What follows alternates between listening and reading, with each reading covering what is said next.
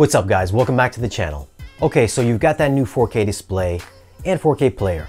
The only thing that's missing is that immersive audio, but you don't have room for 7 speakers and a subwoofer. Well, Sony came up with some magic by putting 7 channel audio into only 3 speakers. They're claiming to be able to simulate 2 overhead height speakers using DSP. They're calling it the Vertical Surround Engine. But before we give it a listen, let's unbox it and see what's inside.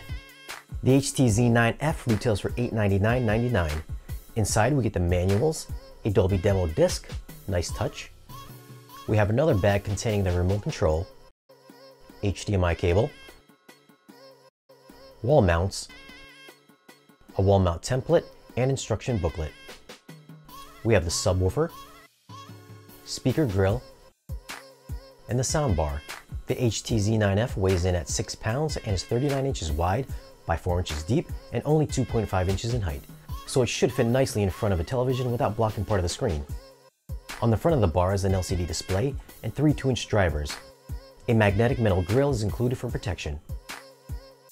On the top of the soundbar are touch-sensitive controls for power, input selection, Bluetooth, music service, and volume controls. On the rear are inputs for LAN, two HDMI ins and one out, USB, 3.5mm, and optical inputs. The wireless subwoofer comes in at 17 pounds, is 7.5 inches wide by 15 inches high, and 15 and a quarter inches deep. The port is located on the front of the sub, and on the rear are the power and link buttons. Now let's get this set up and give it a listen. Let's run through the easy setup real quick. Looks like I found the subwoofer, and if I had the rear speakers, it would have found that as well. Now for the Wi-Fi setup. This bar supports Chromecast as well, but we'll skip that for now. Let's check out the rest of the settings. Here are the manual speaker settings. You can change distance and quarter increments for the bar and subwoofer. Speaker levels. And we get a test tone. And wireless speaker settings.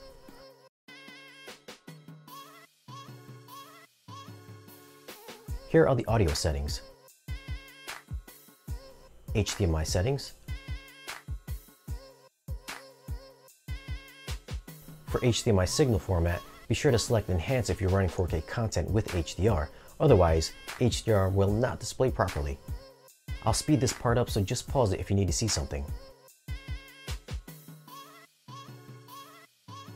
Okay, so I hooked up an Apple TV to the bar, so let's test it and see if Dolby Vision works. This is lost in space and Dolby Vision does indeed pass through. Now let's throw in the Dolby Atmos demo disc. Obviously you won't be able to hear what it actually sounds like, but it'll give you an idea of the output, which is rated at 400 watts.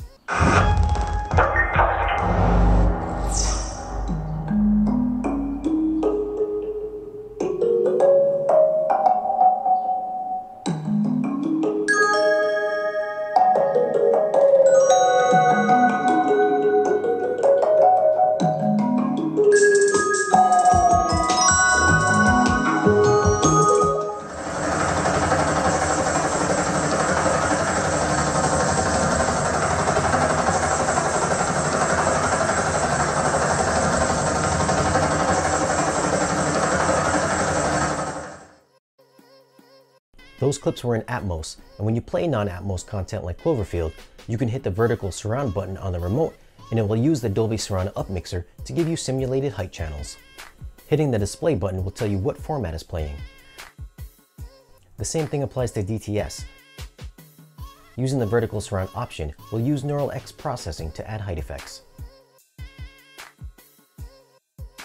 This soundbar also supports DTS:X as well, there are also 7 different sound modes you can select depending on your preference.